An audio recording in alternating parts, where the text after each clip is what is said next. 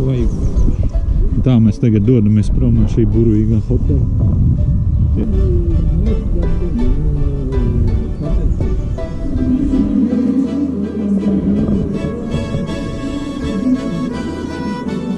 Ok, tā tad mēs beidzot esam nonākuši tajā Okacas kanjona daļā, kur mēs gribējām būt jau vakardien. Vakardien mēs šeit ieradāmies, vakardien mēs gribējām tur lejā pie upes būt. Vakardien mēs šeit ieradāmies apmēram 5 minūtes pirms slēgšanas, mūs vairs nelaid iekšā. Mūsu mērķis bija jau vakardien izstaigāt šo te, bet nu labi, kā ir, tā ir dzīve dzīve. Visi ir ļoti droši, Pārdroši. Visur ir kameras. Ja kaut kas not, nokrīt, tad to noteikti nepazudīs un tas nenokritīs nos no klints. Jā, mēs ejam tur uz to vietu. Ā! Ok. nu, nav tā, ka man nenormāli patīk lieli augstumi.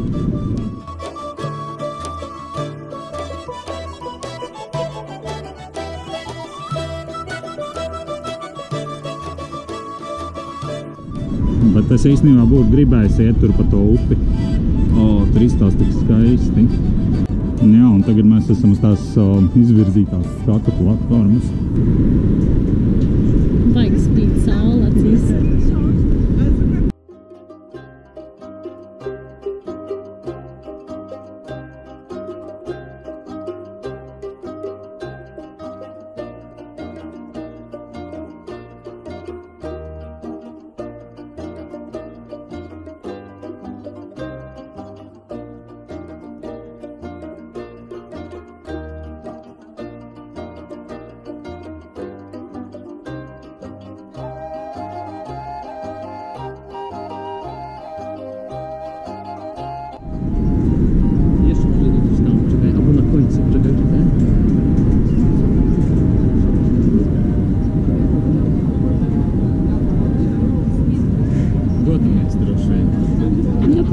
Sazinājos ar to džeku, kurš no Tbilisī vedīs mašīnu. Mums uz Kutaisī vakarā viņš būšot, tā viņš teica.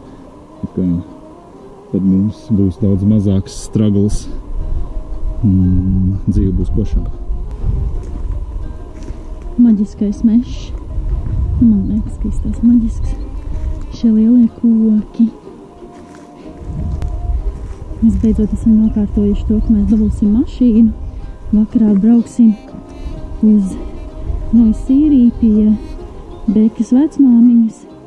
Un tad rītdien apakaļ uz šo galu, kas nav, nu, nav tālu no turienes uz Martvili kanjonu un hotspringiem. Mums jau būs mašīna, varēsim braukt arī uz kalniem, varbūt uz Užgalī. Redzēs, bet šī brīdī mēs izbaudām burvīgo maģisko mežu šeit.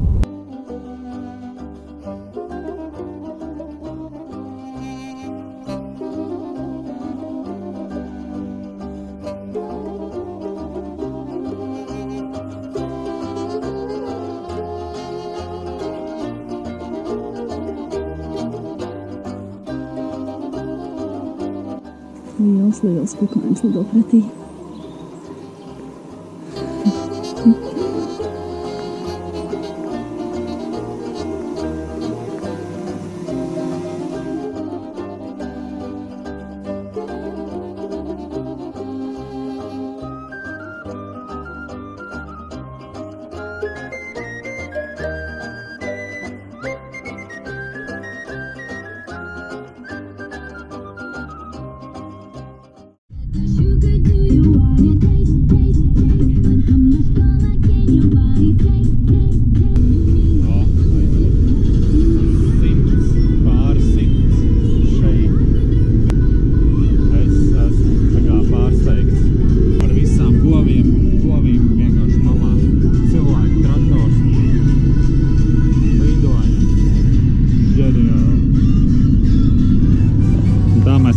atgriezušies.